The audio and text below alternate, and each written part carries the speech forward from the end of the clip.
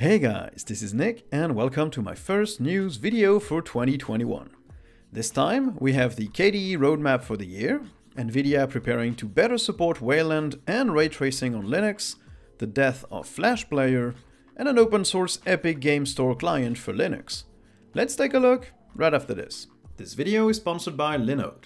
Founded in 2003, Linode is the largest independent cloud service provider built on open source. If it runs on Linux, it runs on Linode. Multiple distros are available, including Ubuntu, CentOS, Alpine, and of course Arch.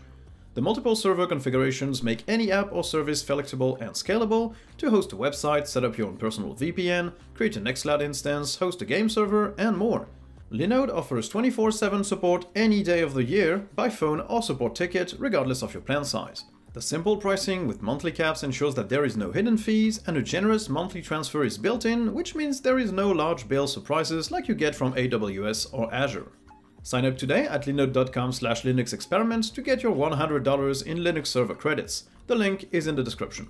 Oh, and before I forget, in addition to having great written documentation, Linode also just started their own YouTube channel where you can check out video tutorials and guides, information on Linux cloud computing, and guest appearances from various experts. Check them out at youtube.com slash linode. Okay, so let's start with the Linux news. KDE published their broad roadmap for 2021. And there are some interesting things in there. The team is aiming for a production-ready Wayland session, continuing on the efforts they put on that in 2020. They also aim to provide full fingerprint support through the whole KDE stack, which means logging in, confirming root actions, and generally replacing everywhere you need a password by your fingerprint. The Breeze theme is also a focus point, as well as a replacement for the kickoff menu, and reflowing text when resizing the window in console, their terminal app. This all sounds pretty good, and that's probably not including all the other smaller things they want to work on in 2021, so it should be an exciting year for KDE and Plasma. Linux is now available on some pretty amazing hardware, the Nintendo 64.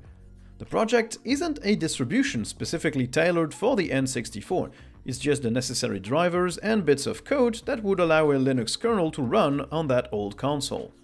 The uses are limited since that machine isn't really going to be running full-blown Linux desktop anytime soon, but it should help with porting emulators and some games.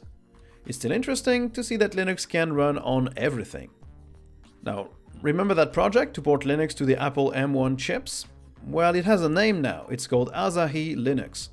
The project is not just to make sure that the M1 chip is supported, but also to ensure that using Linux as a daily driver is doable on these machines.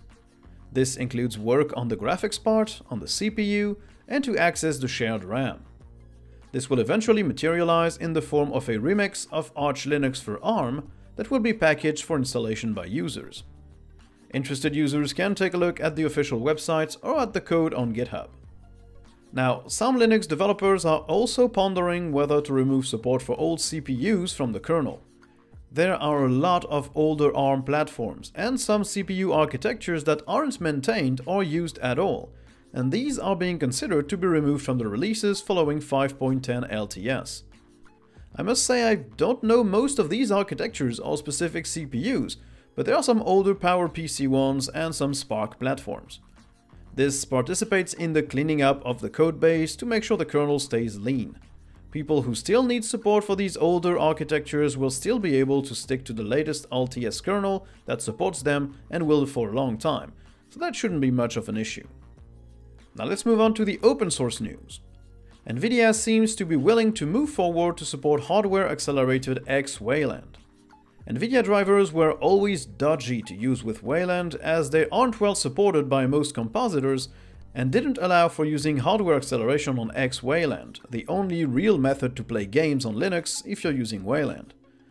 This will soon be a thing of the past, as Nvidia has submitted a merge request to the X server to, as they say, accompany upcoming support in the proprietary Nvidia driver for hardware-accelerated GL and Vulkan rendering with X Wayland. They appear to expect the performance to be on par with native X.org, which is a good thing. This is probably one of the last missing parts to ensure that Wayland can be used in production by everyone in the near future. The GNOME team has also published a new update on their upcoming redesign of the shell's multitasking interface.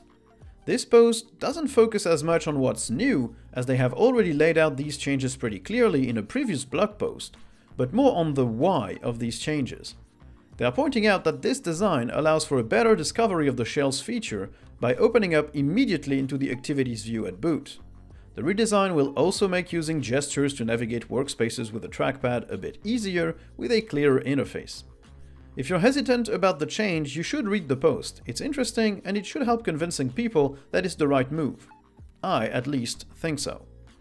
Now, on the Linux hardware front, we have Slimbook that announced a new laptop called the Titan.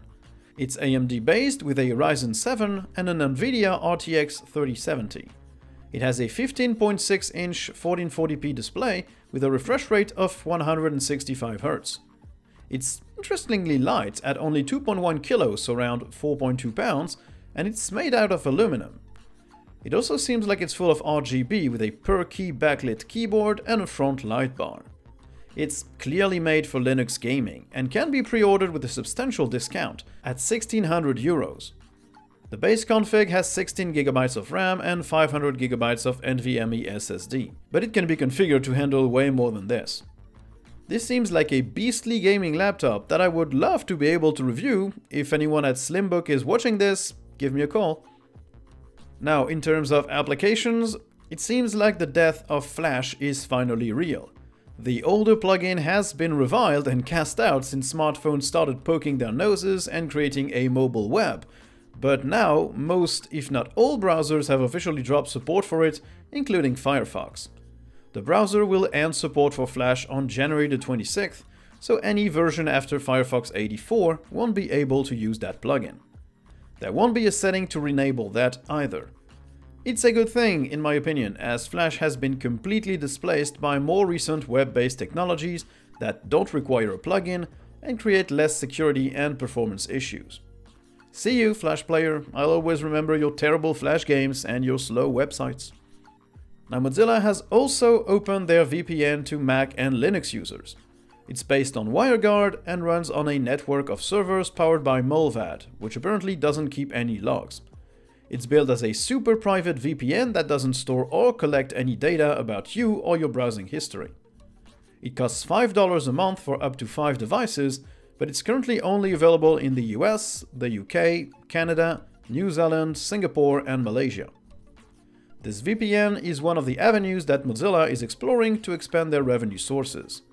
It's still locked behind a waitlist, so it doesn't seem the Foundation is ready to open it up widely yet, but at least it's now available on our OS of choice for those who would like to use it.